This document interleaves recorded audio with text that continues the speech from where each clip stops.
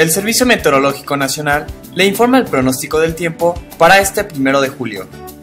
Un canal de baja presión, en combinación con la entrada de humedad del Océano Pacífico y Golfo de México, provocará chubascos con tormentas puntuales muy fuertes en Durango y Sinaloa, tormentas puntuales fuertes en Sonora, Chihuahua, Nayarit, Jalisco, Michoacán, Hidalgo, Puebla, Estado de México y Ciudad de México, y lluvias con intervalos de chubascos en Colima, Zacatecas, Aguascalientes, Morelos, Tamaulipas, San Luis Potosí, Guanajuato y Querétaro.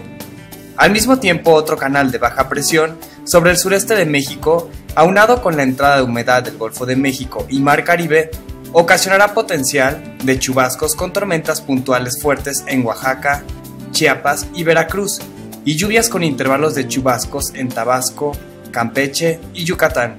Finalmente, una zona de inestabilidad con potencial ciclónico o posible ciclón tropical se ubicará a 800 kilómetros al sur de las costas de Guerrero.